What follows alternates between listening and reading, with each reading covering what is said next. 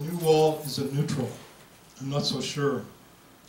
400 schoolgirls are kidnapped and auctioned off. No cartoons from them yet. It took three hours to download my new software, and I need a drink. Species with histories longer than humans are being extinguished. The Seahawks have gelled. Looks like another Super Bowl. Go Hawks. A million Syrian refugees. Someplace, somehow. Have you had the oysters down at Rock and Rye? Creamy, exquisite. Over 60,000 people were killed in the Mexican drug wars. Disturbing what they did with Matthew's character in Downton Abbey. Someone is beheaded for taking photographs. Gas might drop to $2 a gallon. Maybe it's time for that long road trip. Ebola has taken 7,000 lives, but they are in Africa, and it barely matters. Should I erase my birthday from Facebook? Not be in awe of the swimming cat? Clitoral excision, suicide bombers, obliteration of schools, temples, cultures.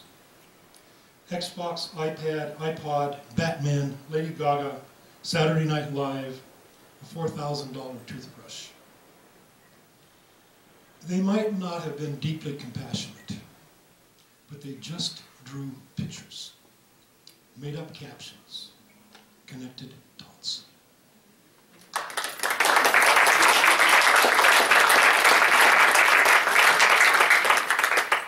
So that poem and, this one kind of comes from the thing that uh, friends and I often talk about what you do with your life in view of the world situation and how we live our lives on a daily basis. So this is another poem that revolves around that.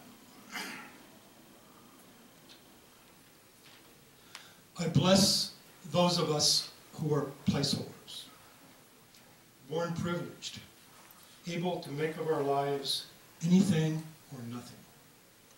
We have chosen sanity, the humility of earning a living, integrity, responsibility, awareness, the occasional failure, the occasional kindness, and time saved to see the curl of a long branch as it dips into still water, a reflection, bent light, ready for the suddenness of a silver trout, jewel speckled red on its side.